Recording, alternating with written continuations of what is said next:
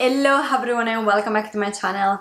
I am Alice and in today's video I want to share with you the 6 most wearable and timeless trends of autumn 2024. Now if you know me you know that I'm all about building a curated and timeless wardrobe and generally speaking trends are not really a big part of it because by their very nature trends are meant to pass not to stay. However I think that this autumn we're seeing quite a lot of uh, trends that are not only practical and wearable for normal people, but also quite timeless. So if you want to inject some more of trendiness to your wardrobe to make it a little bit more current, I think that these are good trend to, if not invest, at least to try out. Of course, as always though, style is personal, lifestyle as well, so you need to apply everything to your own personal life and lifestyle. My first choice is the visible and high socks. Now, this might be slightly surprising because admittedly, this is not the most timeless of trends and in fact, this is the least timeless of my list. However, the reason why I included it is because this is very cheap and very easy because it socks after all. You find them everywhere, they are very cheap and if the trend passes you can wear them like your regular socks under your pants instead of making them visible. So there is really no waste involved, neither in terms of resources or money. The reason why I wanted to highlight this first is because when we talk about timeless trends, we always talk about trends that are going to stay here for a very long time. However, I think that when you have a trend that is so easy to incorporate in your style like the socks and it's very cheap, it's not going to break the bank and it's not going to involve any waste on the long run, I don't think there is anything wrong with playing with it.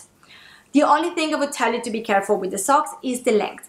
And that's because it's exactly like uh, finding the right skirt length. You need to find the length that you find it personally flattering for your own legs. So for someone might be the ankle socks, for someone else might be the knee-high socks. It doesn't matter as long as you find it flattering. And if you want to try these trends, but you want to be a little bit uh, more subtle, a very easy way is to find a pair of socks that matches in color the color of your shoes, so that you're still making it visible, but it's a little bit more subtle. My second choice is the denim on denim trend. I think that this is a very fun take on the whole denim spiel and again it's going to be a quite easy and cheap trend to replicate because we all tend to have a lot of denim already at home so chances are that you're going to be able to do this trend without even having to buy anything new. I am not a trendy person in the slightest and even I would be able to do this trend without having to buy anything new. So I think this is a safe one again, especially because what's really trendy here is to use the denim with denim. But denim per se is not a trend. It has been here for a very long time. It's going to stay here for a very long time. So if the trend passes or you get bored with it, you can simply keep on wearing your denim items separately instead of together. Number three is the nod to the countryside style. Now, this comes with no surprise, but this is my favorite trend of all, and that's because this is not a trend for me. This is how I dress on a daily basis. However, regardless of my own personal preferences, I would still feel confident in recommending it for two reasons. Number one, it is extremely practical. This is a style that was created to withstand modern rain, so it's perfect for this season. And number two, I think it's quite timeless because yes, up until now, it was more of a niche trend, more of a niche style rather, but it has always been quite consistent through the years. And you will always look cool and elegant with a nice countryside look. And I can say that with a certain degree of certainty because as I said this is my style and I've been dressing like this way before this became a trend. And I keep receiving compliments for my clothing again even before this became a trend. So it's a safe one to play with. The only thing that uh, I would say it's quite tricky with this trend is that unless you live in the countryside it can become a little bit costumey. If you like me live in a city, yeah, it could be a bit difficult to pull off.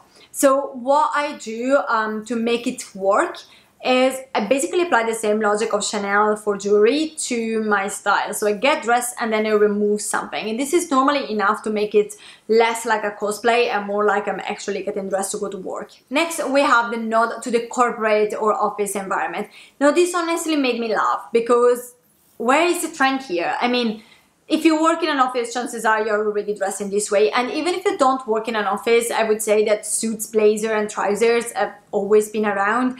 So I honestly don't think that this is really a trend. At the same time, this also means that this is quite a safe one to play with because it's not going to pass easily. And as always, when you have matching sets, uh, you can use the items together or you can use them separately. So with just two items, you can really create a lot of outfits. However, I would say that if you are someone that is, uh, again, does not work in an office and works in an environment in which having a full-on suit might be a little bit weird, or um, you just never wore this kind of items and you feel a little bit unsure, as always, play little, play safe, at least at the beginning.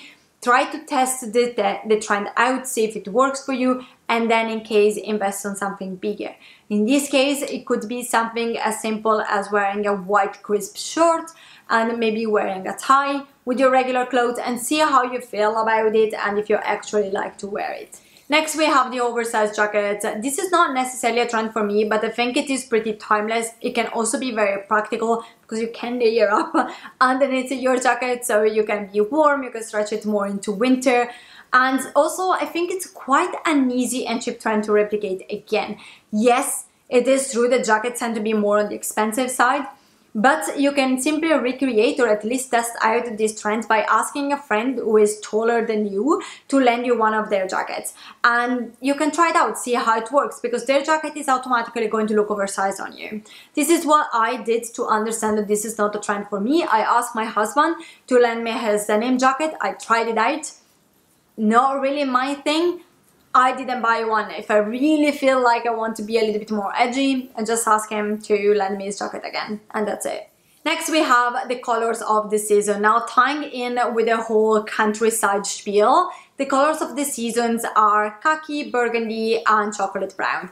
Now I honestly think that these are the classic colors that will be more or less in style depending on the years but you're never really going to look out of fashion wearing these colors especially not in autumn.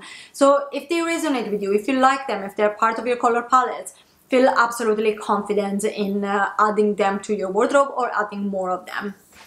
Last but not least, we have the leopard print. Now, I know that this is not for everyone. Definitely it is not for me. However, if you really love it, I think that it's a very safe and cool trend to tap into because, again, you're never going to look wrong, you're never going to look out of fashion wearing a leopard print. And because it's something that has been here for such a long time, chances are that you can find beautiful leopard printed items secondhand for a fraction of the price.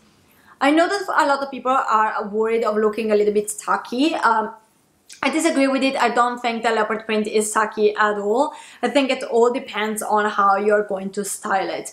Now, I'd say that for most people, not only leopard print, print in general, it's difficult to overlap prints unless you have a very cool sense of style, unless you have the personality that goes with it. Like think at Iris Apfel.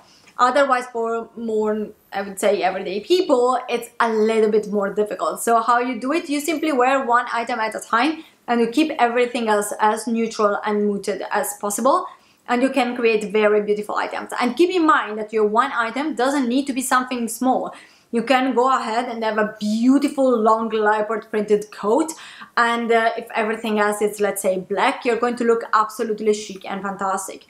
And to reiterate, it's not that you can't overlap prints or leopard prints specifically, it's just that it's more difficult for people to do that. So if you want to play safe, this is the easy way in which you can play safe. But if you like the trend, but leopard is not really your thing, I get you covered because I have the same problem.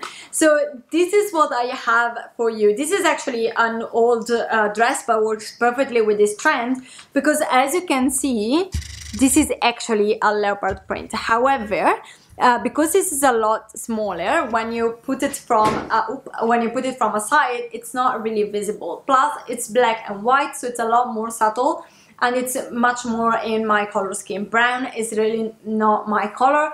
Um, this is much better for me and to be honest it's just more subtle. I'm not a huge print person. Thank you so much for watching. I hope you enjoyed this video. If you did please give it a thumbs up and maybe subscribe to my channel. I would absolutely love to see you back and until next time, bye!